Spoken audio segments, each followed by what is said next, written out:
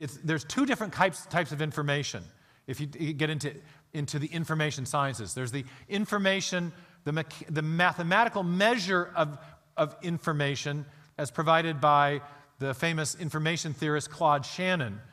And, there's and DNA has that kind of information. It has a, a, measurable amount of information. But the, the mathematical theory of information doesn't tell you whether the information that you're dealing with is meaningful or functional on the one hand, or simply an improbable arrangement of characters, in a sense, just an information carrying channel, which may or may not have any functional information in it.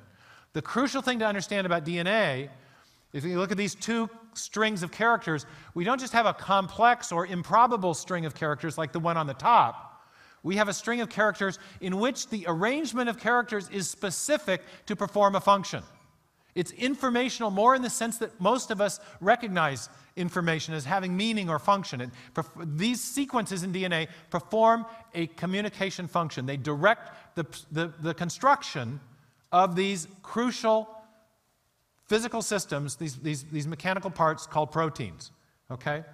So when Francis Crick was clarifying the nature of the discoveries that were taking place in molecular biology in the late 1950s, he said, when we talk about information in DNA, and he's aware of the Shannon idea of just measurable improbability.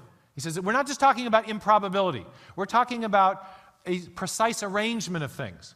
So, by information, he says, I mean the specification of the amino acid sequence in the protein. They're all in the right sequence, all in the right order. Or we mean the precise determination of the sequence in the case of the bases in, in the DNA molecule. So, we're not talking about information in a merely mathematical sense of measurable improbability. We're talking about it as a functional sequence, something that is precisely arranged with respect to the, the requirements, the functional requirements of an organism. Now, that, so that's the, the, when we're talking about the DNA enigma, that's what we're talking about. It's the origin of that kind of information, information that is very closely, is very similar to what we have in, a, in a, our own digital technology. Where did that kind of information come from? How did that arise?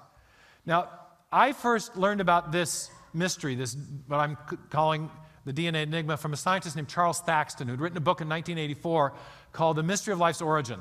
And it was a very comprehensive critique of these attempts to explain the origin of the first living cell from simpler non living chemicals, what's called chemical evolutionary theory. And it was chapter and verse. I mean, it was a very devastating critique of the standard models. And, uh, and what Thaxton pointed out was that there are lots of reasons these models fail, but the fundamental reason is that they can't explain the origin of information. And now this brings us back to the starting point of the lecture. Do we have in the simple cell an appearance of design? In fact, an appearance of design that has not been explained away by purely unguided, undirected materialistic processes. We do.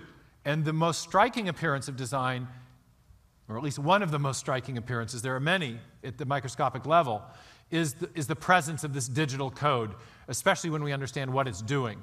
Uh, Richard Dawkins says that the machine code of the genes is uncannily computer like. Apart from differences in jargon, the pages of a molecular biology journal might be interchanged with those of a computer engineering journal. We have digital code, we have replication, all this, this intricate information processing system. Bill Gates, the, uh, our local hero out in the, in, the, in the Seattle area, says DNA is like a computer program, but far more advanced than any that's ever been created. Well, at the very least, uh, from these statements, we can see that we have a striking appearance of design. The question is has that appearance, the appearance conveyed by the digital information in DNA, been explained by any undirected, unguided materialistic process.